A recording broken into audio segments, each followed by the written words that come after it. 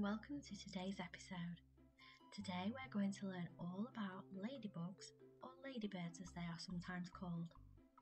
Ladybugs are actually beetles, and there are over 5,000 different types of ladybugs. Most people think that the number of spots that you see on a ladybug can tell you how old it is, but the spots will actually tell you what kind of species the ladybug is. Ladybugs with 7 or 10 spots are the ones that we are most likely to see. Let's take a closer look at the ladybug's life cycle. Every ladybug will go through four stages in its life egg, larvae, pupae, and adult ladybug. Ladybugs go through a metamorphosis cycle just like a caterpillar. They both start off as one type of animal then they go inside a cocoon where they come out looking like a very different type of animal.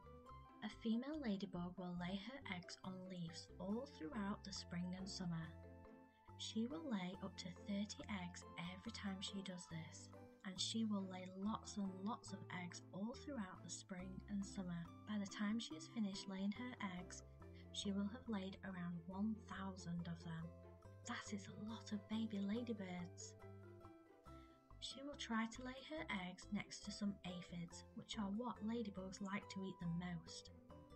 But if she can't find a food source for her babies, she will lay some eggs that will not be able to turn into ladybugs, and the newly hatched babies will be able to eat these unfertilized eggs to get a nice nutritious meal.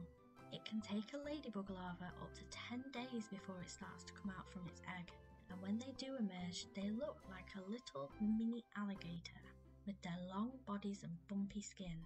When they emerge, ladybug larvae are black with brightly coloured spots or bands.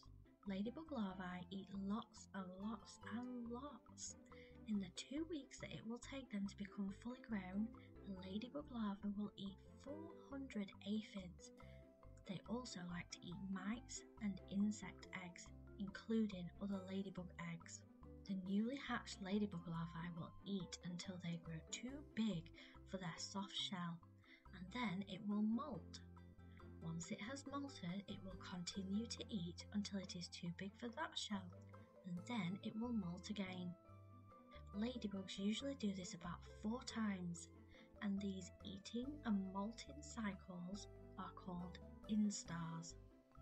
Once the ladybug is ready to move on to the pupate stage, it will attach itself to a leaf where it can change into its adult body. This is known as metamorphosis.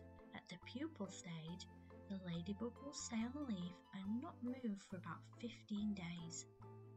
Its body is going through a massive transformation, slowly breaking down parts of itself to reshape them into the adult ladybug that we all know.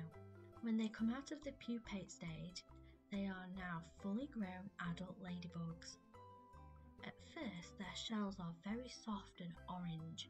Their shells will harden over time and then slowly turn to the final colour of red, developing their spots at the same time. Adult ladybugs will still eat aphids and other soft insects, just like when they were larvae. And that's why gardeners love to find ladybugs in their garden helping to protect their plants from other insects. When the winter arrives, adult ladybugs will hibernate in large groups called aggregations. When the spring arrives, they will wake up again and the female ladybugs will start looking for somewhere to lay their eggs, starting the whole cycle off again. Why not go outside and see if you can spot some ladybugs in your garden?